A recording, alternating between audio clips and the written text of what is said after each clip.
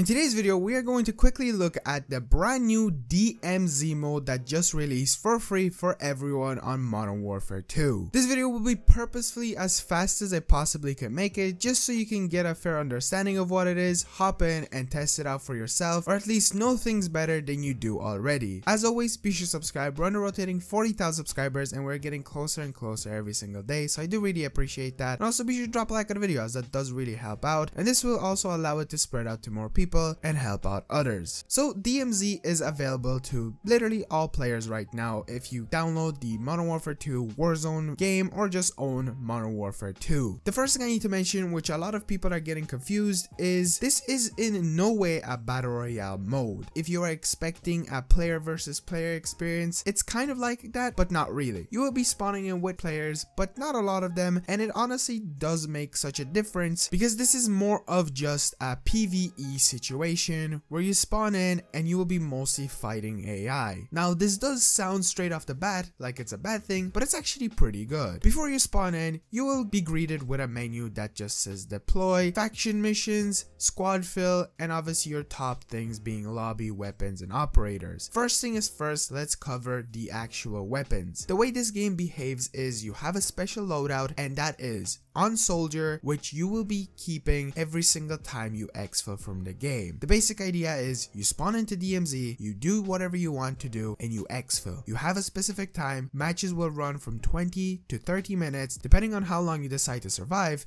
and whatever you exfil successfully with you will keep. Now that also applies to your weapons. As a player inside of DMZ, you will have a small backpack which includes some things like let's say your gas mask, your armor carrier, kill streak, self-revive, and if you for example have those when you exfil, you will have them straight away the next time you spawn into a different match. But you might also collect special keys. Now you might wonder what these keys are. There's something that will allow you to then go to special holdouts or locked off doors and use those keys to get in, you get either more keys to different locations or just collect higher tier loot that then you are able to exfil and just have for future games. Now the way you can find out what these keys do is by hovering over them and they should specifically tell you which location you have to go to. All you have to do then is simply just look on your map and if you look at the named location, go there, you should find a specific door or whatever you have to open up, but I'll talk more about that in a while. Now let's quickly talk about weapons. Whatever weapon you decide to spawn in with, that's the weapon you will have in the game and if you don't exfil with it, it's gone forever. But you do also have an insured slot. You have one that's just completely unlocked from the beginning. You have an insured slot 2 that you get for completing 3 or every faction. And then you have insured slot 3 which is completed tier 5 on any faction which I will be getting into in a minute. Now the thing with this is this is an insured weapon that will never go away but you will get punished if you die and don't exfil with it by just not being able to use it for quite amount of time. The thing with this is you can equip any weapon, any camo, any attachment on it and spawn in with the specific weapon in the game. But we also have contraband weapons, which are ones that you either exfil from the game or you get from completing challenges inside of DMZ. Now you can get special cool blueprints that can be overpowered and it can make it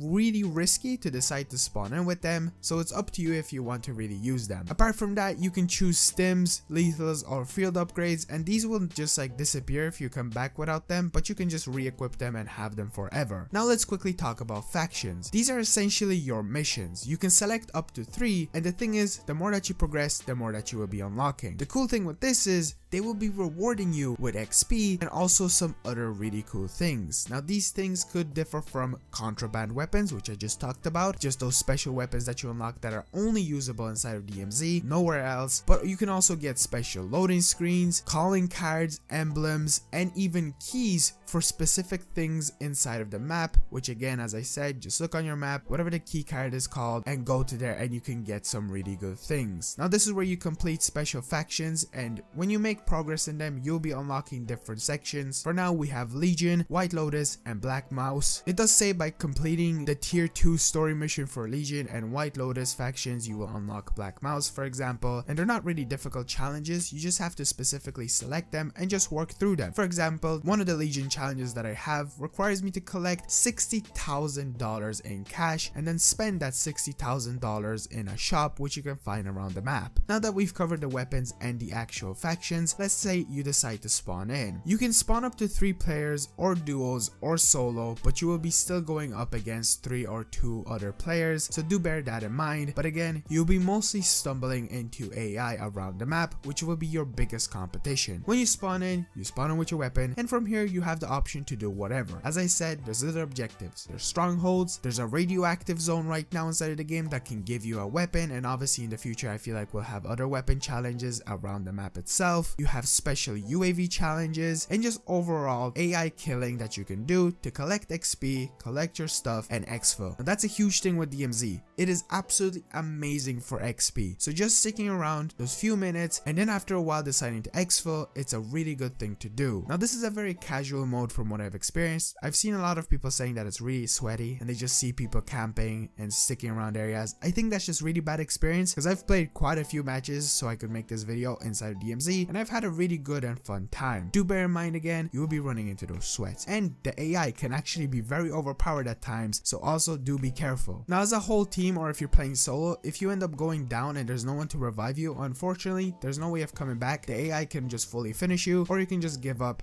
which will again as I said make you lose all of your stuff. But if you decide to exfil, you just have to simply look for the like blue little icon on the map, go over there, call in the chopper which won't take long to come in, get on the chopper, you'll get a 5 second counter, from there they'll stop moving up and you've basically exfilled successfully and you get to keep your stuff and make progress in getting XP, weapon contrabands, calling cards, emblems, loading screens, so on and so forth. If you're looking for a specific guide for these actual challenges, just simply reading the actual description will give you a fair understanding of what to do. There's quite a lot of these and if there's any specific one that you have trouble with and if it's like a universal thing, I might cover it in a future video. I am going to be covering as much DMZ as I can, but that's the basic idea of DMZ. Instead of going into insane detail on every single objective and everything, I think it's better that I explained it this way just so you understand that loadouts are very important and keeping all of your stuff by exfilling is vital. On top of that, understanding of how missions work is important and just hopping in and having fun is a huge thing. So I hope this guide helped you out in some kind of way. If it did, be sure to drop a like at the video again. Be sure to subscribe. And as always, I will see you guys in the next one. Peace out.